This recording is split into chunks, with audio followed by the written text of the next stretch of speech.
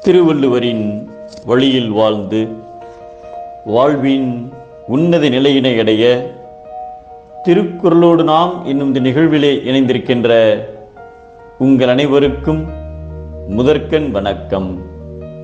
குறள் எண் நாற்பத்தி ஆறு. அதிகாரம் இல் வாழ்க்கை. ஒரு கணவன் தனது மனைவியின் முதல் பிரசவத்திற்காக அவளை அவளுடைய தாய் வீட்டிற்கு அழைத்துச் சென்று கொண்டிருந்தான். வாகன வசதி இல்லாத காலம் அது.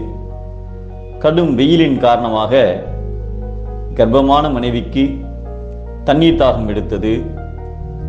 ஆளில்லா நடைபாதையில் தன் கணவர் தண்ணீருக்கு எங்கு செல்வார் என்று அதை கணவனிடம் சொல்லாமலே தாகத்தோடு வந்து கொண்டிருந்தாள் மனைவி.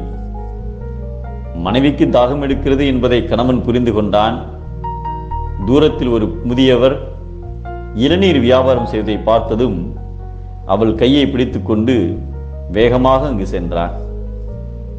அப்போது அவனிடம் ஒரு இளநீர் வாங்குவதற்கு மட்டுமே காசு இருந்தது. அதனால் ஒரு இளநீரை வாங்கி மனைவியிடம் கொடுத்து எனக்கு வேண்டாம் நீ குடி என்றான். எனக்கு மட்டும் என்றால் வேண்டாம் நீங்கள் குடித்துவிட்டு தாருங்கள் என்றால் மனைவி. முதலில் நீ குடி என்று மனைவியை குடிக்க வைத்தான். ஆனால் அவளோ என் கணவர் எனக்காக காடு மலையெல்லாம் வேலை செய்பவர். அவர் குடிக்கட்டும் என்று சிறிது குடித்துவிட்டு பின்னர் குடிப்பது போல் நடித்துக் கொண்டிருந்தாள். இளநீர் கணவன் கைக்கு வந்ததும் அவனும் மனைவியைப் போலவே இவள் என்னை நம்பி வாழ வந்தவள். அதோடு என் குழந்தையை சுமக்கிறாள்.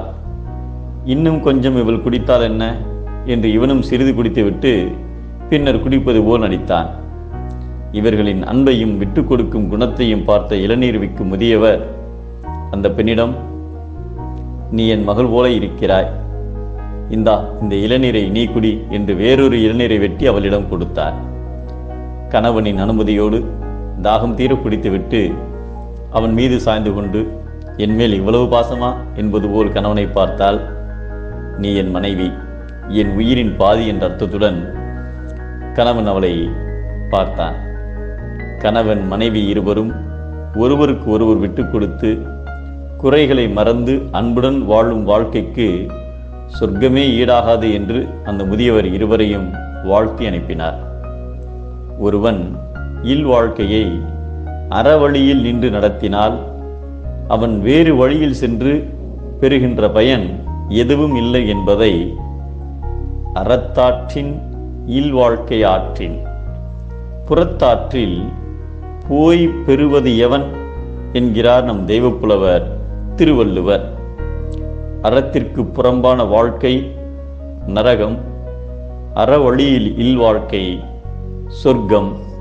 மீண்டும் அனைவருக்கும் நன்றி வணக்கம்.